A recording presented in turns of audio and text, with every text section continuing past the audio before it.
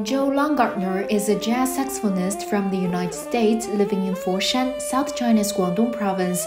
He has witnessed the rapid development of jazz in China over the past decade and hopes to promote cultural exchanges between the two countries through music.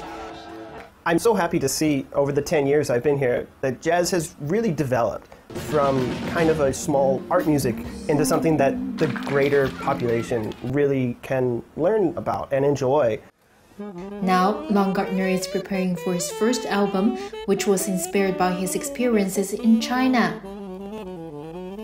Initially, I came to China because I wanted to grow my musical experience in a different way, something different than a lot of other musicians. And this is what I wanted to try to integrate into my album. Coming to China has allowed me to kind of be open to these new ideas. So this album is really meaningful for me because this is my first album. I wanted to use all my experience and all my influences that have come from living here in China and put this into my album.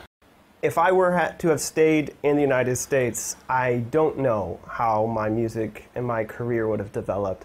China has given me so many different types of opportunities. So I've been living in China now for 10 years,